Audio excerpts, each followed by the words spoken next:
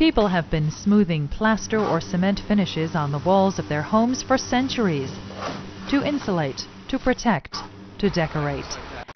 This highly durable type of wall finish is enjoying a resurgence in popularity across the country, especially in Sunbelt states, making stucco and interior plastering one of the fastest growing occupations in the construction trade.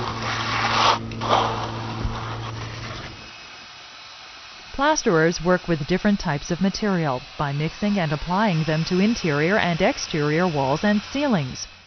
These surfaces are fire resistant and fairly soundproof. The finished product can be left in its natural state, painted or papered.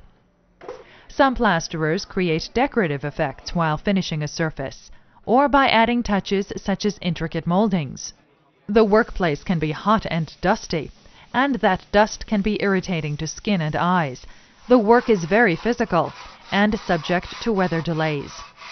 Most plasterers work on new construction, but many repair and restore older buildings. They generally learn their skills on the job. Plasterers make walls not only functional, but artistic.